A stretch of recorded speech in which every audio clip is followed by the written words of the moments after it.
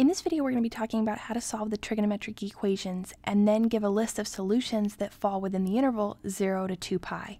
Notice here that because we have this square bracket, we're including the value 0, and here because we have the parentheses, we're excluding the exact value 2 pi. The problem we've been given is sine of 2x equal to tangent of x. So we're going to need to solve this, and in order to do that, we want to start with the double angle formula, which tells us that sine of 2u is equal to 2 sine of u cosine of u. Notice here that in our problem, we have one trigonometric function that has an argument of 2x. The other one has an argument of x. So we need to get both of them in terms of just an argument of x, and that's why we bring in the double angle formula. So we can change sine of 2x to be 2 sine of x cosine of x is equal to tangent of x. But we know that tangent is the same thing as sine divided by cosine. So we can say sine of x divided by cosine of x instead. Now what we want to do is multiply both sides by cosine of x. So we get 2 sine of x. Cosine of x times cosine of x gives us cosine squared of x, and we're just left with sine of x on the right. Now we want to subtract sine of x from both sides. Be careful not to divide out a sine of x here, because if we do, we're going to use some solutions. Instead, we want to subtract to bring this over to the left-hand side with everything else. So 2 sine of x cosine squared of x minus sine of x is equal to 0 now. This way then we can factor out a sine of x. So if we pull a sine of x out of both terms, in this first term we're just left with the 2 and the cosine squared. So 2 cosine squared of x. And if we pull sine of x out of sine of x, we're just left with 1. So we get minus 1 is equal to 0. Now we can use zero theorem since we have two factors multiplied together and that product is equal to zero, we can set them equal to zero individually. So we can say that sine of x is equal to zero or that 2 cosine squared of x minus 1 is equal to 0. If either of these equations are true, then this equation here will be true. So when is sine of x equal to 0? Well, if we know our unit circle, we know that sine is represented by the y value in each coordinate point along the unit circle. So what we're really asking here is, where does y equal 0?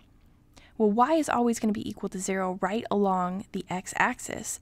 So those angles along the unit circle are the angles 0 and pi, we would also say 2 pi, 3 pi, 4 pi, etc. But 0 and pi are the only values that fall within this interval 0 to 2 pi. We could also say here negative pi, negative 2 pi, but those negative values are also outside this interval. So the only values of x that make this equation true are 0 and pi, and those are the only ones that fall within this interval. What about this equation? Well, We'll add 1 to both sides to get 2 cosine squared is equal to 1. Then we'll divide both sides by 2 to get cosine squared is equal to 1 half. And then we'll take the square root of both sides. Over here on the left, we have cosine of x times cosine of x. So when we take the square root, we're just left with the single factor of cosine of x. So cosine of x is equal to, taking the square root of the right-hand side, we have positive or negative square root of 1 half. Now remember that when we're taking the square root of a fraction, we can take the square root of the numerator and the denominator separately. So this is the same thing as positive or negative square root 1 over square root 2. We know that the square root of 1 is 1, so we get cosine of x is equal to positive or negative 1 over root 2. Now we want to rationalize the denominator, which remember just means get the square roots out of the denominator. And the way that we're going to do that is by multiplying by root 2 over root 2 because that's going to give us a result of positive or negative. Here in the numerator, 1 times the square root of 2 is the square root of 2. In the denominator, square root of 2 times square root of 2 is just 2.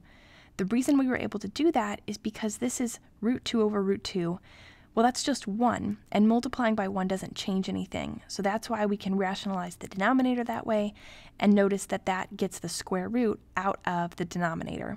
So what we have now is cosine of x is equal to positive or negative square root 2 over 2. If we go back to the unit circle, we know that cosine is represented by the x value in the coordinate point. So what we're really saying is, where is the x value in the coordinate point equal to either positive root 2 over 2 or negative root 2 over 2? Well, according to the unit circle, we know that that's going to happen at the angle pi over 4 in the first quadrant, at the angle 3 pi over 4 in the second quadrant, at the angle 5 pi over 4 in the third quadrant, and at the angle 7 pi over 4 in the fourth quadrant. Now remember we could also use negative values, negative pi over 4, negative 3 pi over 4, negative 5 pi over 4, but those negative values all fall outside of the interval 0 to 2 pi, so we don't consider those. And we could also continue here listing positive values, but the next one would be 9 pi over 4 and 9 pi over 4 is greater than 2 pi, so it's outside of this interval. So these are the only values that we consider. So then when the problem asks, give the solutions inside of this interval, we want to put these solutions together with the ones we found earlier, 0 and pi, and we want to say that x can be 0, pi, and then pi over 4, 3 pi over 4, 5 pi over 4, and 7 pi over 4, and this is a full list of solutions for this equation that fall within the interval. Could you use some extra help with math? Click the button to head over to calculusexpert.com. It's where I've collected and organized all of my best resources, including exclusive videos, notes, quizzes, and even formula sheets. It's the perfect resource whether you're struggling, or if you want to take your learning further, or even if you just want to save yourself some time studying. So check it out because I know it'll help.